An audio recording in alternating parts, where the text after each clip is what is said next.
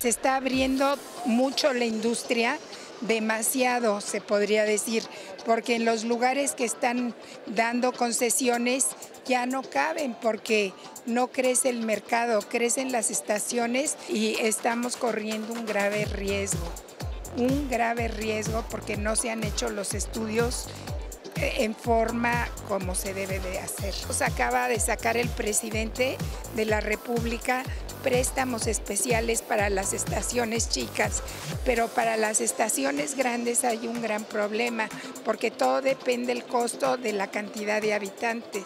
Mientras mejor contenido tienes, tienes más auditorio. Por eso el contenido local es rey en este negocio. Nuestros locutores guardan mucha, mucha, mucho respeto a la familia, a los niños a que sigan con su guelaguetza, que es hermosa, que sigan con todas sus tradiciones y sus bordados.